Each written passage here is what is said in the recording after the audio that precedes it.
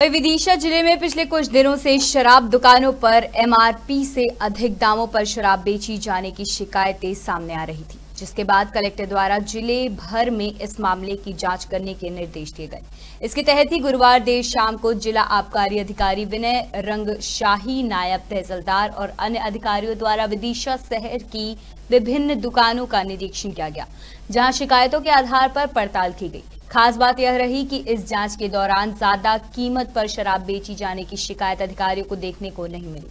वही जाँच के दौरान जिला आबकारी अधिकारी रंग शाही ने कहा कि रेड लिस्ट और स्टॉक में कुछ कमियाँ पाई गई हैं।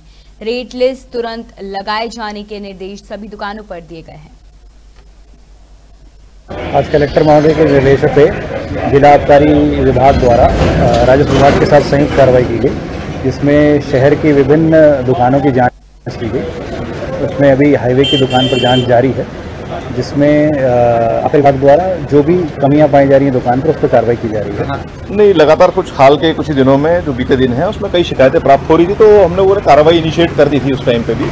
और उसके रिज़ल्ट में आज जब हमने एक बार औचक निरीक्षण किया। आज ये हमारी तीसरी दुकान है, मैं स्वयं गया था।